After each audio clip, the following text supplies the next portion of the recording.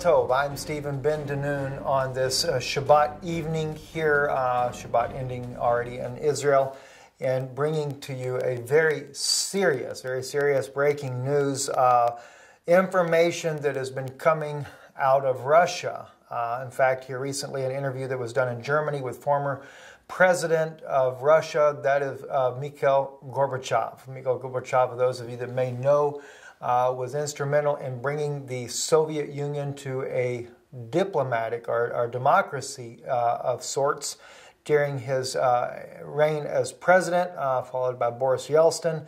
And um, he was interviewed today, and uh, he warns of the tensions over Ukraine, and it could spiral into a nuclear war. This was on uh, the Moscow Times. Uh, it was posted there. It was first posted in the Berlin uh, newspaper uh, in Europe. And uh, so I want to read to you some of the, the, the, very serious things that he is saying here, things that we've been noticing as just, if, just to recap, let me remind you, things that Russia has been doing that have seemed to be very odd.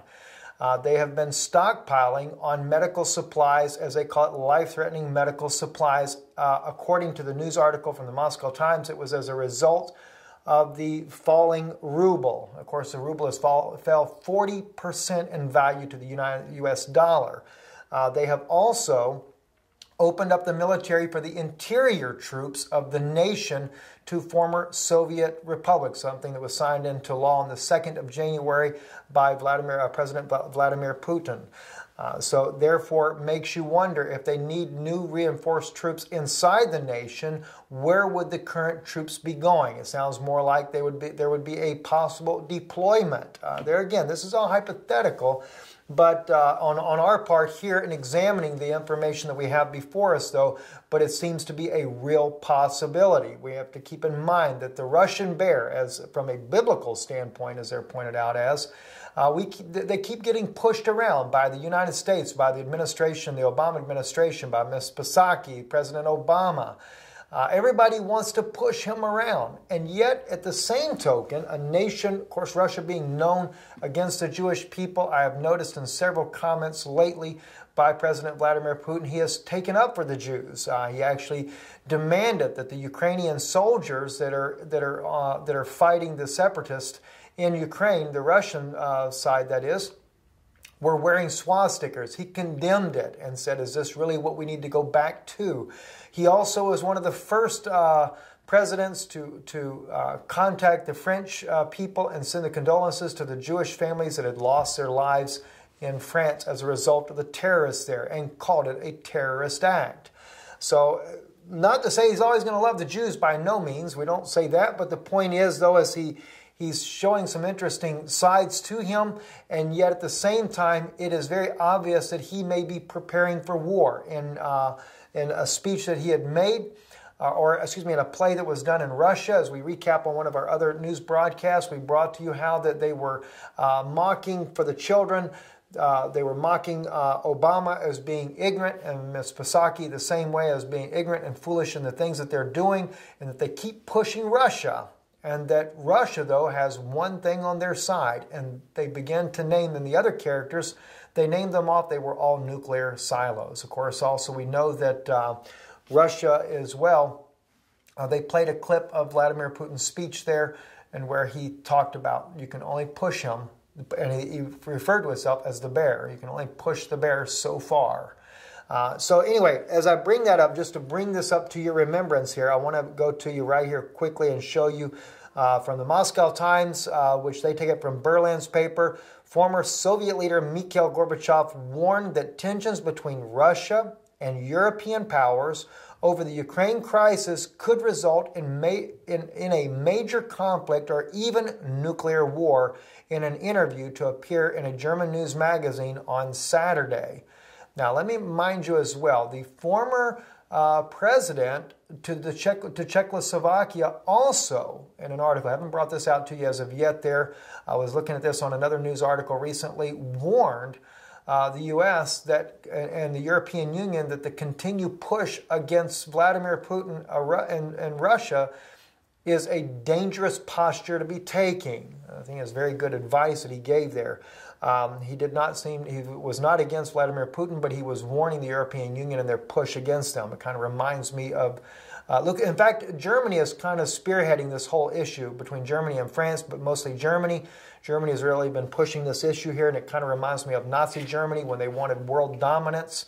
And uh, they're pushing again to take dominant control over certain parts of Europe. Um, so, anyhow, we continue on. He says here, a war, this is uh, Mikhail Gorbachev, this is quote unquote, a war of this kind would unavoidably lead to a nuclear war. Uh, by the way, he's a Nobel Peace Prize uh, winner from 1990. Uh, he was uh, told this to Do- uh, Dr. Spiegel's news magazine, according to, uh, ex- excuse me, Der Spiegel news magazine, according to the excerpts released on Friday.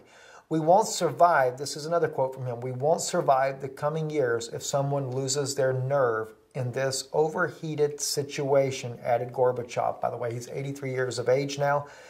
Uh, and then he says again, this is not something I'm saying thoughtlessly.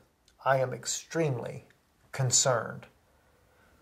And that concerns me as well. If you think about it, Gorbachev, Mikhail Gorbachev, the former president of the, of the Soviet Union, he was a very level headed leader. He was very much interested in bringing uh, democracy to his nation. And he worked very well with uh, Ronald Reagan and during the Bush times. Uh, but we definitely see if he's concerned, of course, he knows what goes on in Russia. He's a former president of Russia. And he, as he clearly says, and this is what's interesting here, uh, if someone loses their nerve, you have to understand Russia's president can get angry enough to order a war to begin. Uh, the article goes on to say tensions between Russia and Western powers rose after pro Russian separatists took control of large parts of eastern Ukraine, and Russia um, uh, annexed Crimea in early 2014. The United States, NATO, and the European Union accuse Russia of sending troops and weapons to support the separatist uprising and have imposed sanctions on Moscow. Russia denies providing the rebels with military support and fends off Western criticism of its annexation of Crimea, saying that the Crimean people voted for it in a referendum.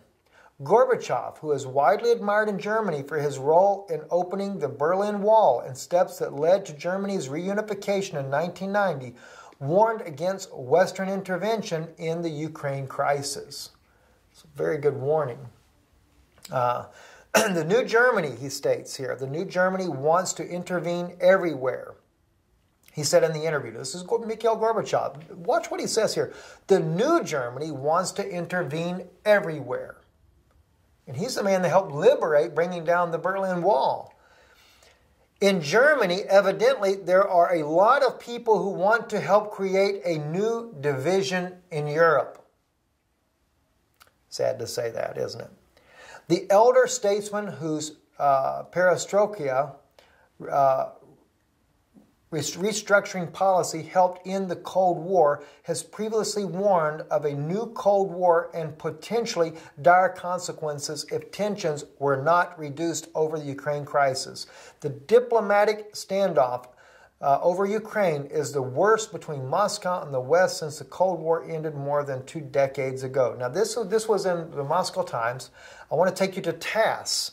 Uh, TASS, a little bit shorter uh, report here, but they also quote some points that he makes. Uh, in the interview, he says he pointed on the uh, catastrophic loss of, of, trust in relations between the West and Russia. That was his quotation word, uh, quote, quote unquote, catastrophic loss of trust. Uh, the serious, catastrophic uh, Berlin on January 10th, this was uh, when this came out on the TASS agency. Ex president of the former Soviet Union, Mikhail Gorbachev, has voiced criticism of the policy of anti Russian sanctions and called for a dialogue between the West and Russia. If in condition, excuse me, if this, this Mikhail Gorbachev quoting here, if in conditions of current tense emotions anybody's nerves fail, we will not be able to live through the following years. He said in an interview with Der Spiegel, published on Friday. He pointed to the catastrophic loss of trust in relations between the West and Russia. He says, quote unquote, here, we need a new thaw, he stressed. He condemned German politicians who, in the words, were seeking to part, take part in new division of Europe, quote unquote. During the Second World War, Germany tried to extend its sphere and influence eastward. What other lessons do we need? He states. What other lessons do we need? Now, the point is, what he's trying to say is look what they did. Look what Germany did when Germany was a nation. This wasn't very long ago now. You got to remember, the people that were actually part of this are still, many of them may still be alive, and their children and grandchildren are now running the country. So they had all this indoctrination ingrained in them as well. Regardless of the fact the United States and Russia split the nation and ruled over both nations, they are now, once again, their own power, and they're trying to build up. So he goes on to stay, say here uh, during the Second World War, Germany tried to extend its uh, sphere of influence eastwards. What other lessons do we need? He said he understands that the West policy of sanctions against Russia was, uh, was, as he puts it, unwise and extremely dangerous. Now, I'm going to take you to another bit of news that happened in Russia. We reported on this yesterday, but I need to bring you into some very interesting information to think about. Because, as I said to you, Russia is looking to bring in new bodies, new people to, to be troops in Russia from the former Soviet uh, states that can speak uh, fluent Russian to guard the interior. As I said, does this mean there's going to be a large deployment? We know for a fact there are Russian troops in America. What they're there for, who really knows? I have sources from Washington, D.C. that have confirmed this, that there are Russian troops. They're both out in California, as well in the northern states, and even up in Montana area as well. There are Russian troops on the ground, thousands of them, in fact, and they were trained for civil unrest in America.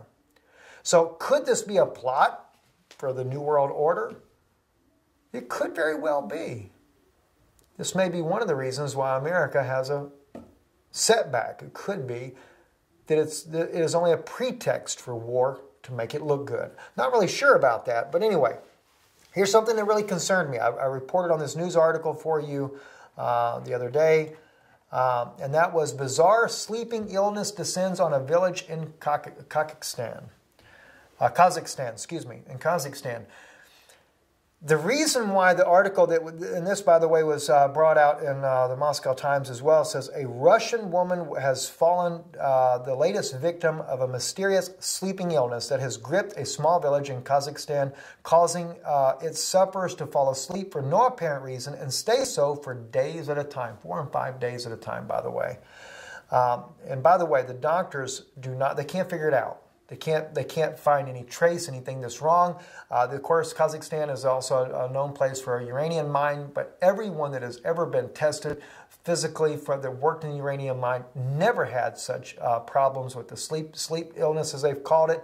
This actually began in 2013. It's only happened on two different occasions there, and it seemed to subside. Then suddenly, all of a sudden, it came back. About a hundred people actually fell asleep to this particular quote unquote illness, but there's no virus, there's, no, there's nothing detectable according to the researchers. Uh, says researchers have found no trace of any anomalies, poisons, or elevated radiation levels around the village, nor any abnormal test results in sufferers, except for the fact that they just stay asleep according to, to, to media reports. Now we're not getting to see the medical reports on this illness. Now I don't. I, I, I'm going to step out on a limb here and I have to say to you, I don't think that it's an illness. I have a feeling that what we're seeing is we're seeing an event that, was, that occurred 12 years ago in Russia, in Moscow, when a certain theater, they took hostages and Russia ended the siege using an actual chemical that put people to sleep. Let me remind you of this here. Uh, this article here happened to come out two years ago. It's just a reminder at, at the 10 year anniversary, Moscow Theater Siege. Questions remain unanswered. Now, this is 10 years after that siege. This was in 2012, this, this article came out. 10 years ago, Russia and the world held their breath as Russian special forces surrounded a theater where nearly 1,000 people were held hostage. The siege ended tragedy, in, in tragedy and still provokes re, uh, recrimination. October 23rd uh, of 2002, 40 Chechnyan militants headed by warlord Movsar Barayev took 912 hostages in Dubrovka. Excuse me, Dubrova, Dubrovka. Um, theater in Moscow where the popular musical Nord-Ost was showing. Three days later, Russian security services pumped sleeping gas into the hall, stormed it, and killed all the attackers. But some 130 hostages died, most not at the hands of the gunmen and women, but apparently because of the effects of the gas. Ten years later, many questions remain unanswered, and many people feel the victims have not received justice. Uh, many experts say that the operation itself was carried out in a professional way, but the people's safety was sacrificed at the order to maintain total secrecy. Now, they call it sleeping gas, but we really don't know what it was because Russia never would reveal what it was that they used to put them to sleep. In fact, they wouldn't even, even reveal it to the doctors, so the doctors were unable to test anything. Um, now, the thing is, public health services were not warned in advance, as the article says. Uh, sleeping hostages were carried not, uh, not out by medics, but by policemen. The authorities uh, did not acknowledge the use of gas until eight hours later, and even then did not disclose what type of gas it was. So doctors did not know how to treat the patients. Moscow's P, uh, chief public health doctor, Andrei uh, and President Vladimir Putin himself insisted that the gas could not have caused death, but is but it is its name and chemical formula remain secret. I have a feeling that what Russia was doing is they've been trying to develop some type of gas that will put people to sleep long term back then. And I remember it very clearly watching the standoff on television when I seen this unfold. I even wondered then, is Russia trying something, a chemical way of putting people to sleep, not killing them per se, but to use it as a war weapon in the future? Well, they've had another 12 years to develop that. Could this be what's going on in Kazakhstan? Could they be testing it? Now, some of those that, that come out of it, they, they report having hallucinations when they're coming out of the sleepness after four and five days. A lot of different side effects they come out with, but then there's no other signs, no other reasons for why they had this problem. And it doesn't seem to return either. It doesn't seem to be a virus that can be catchy. Could be that Russia's experimenting can't say for sure, can't say for certain. What a way, though, if they wanted to take over a country, put the country to sleep.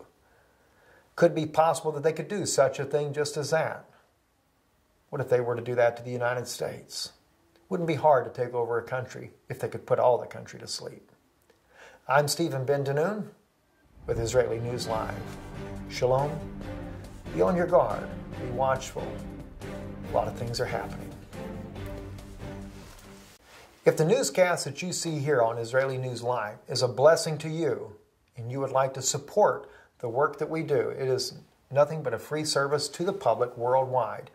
You can go on our website, IsraeliNewsLive.org, and there's a contribution place where you can donate at. We thank you for your support, and God bless you.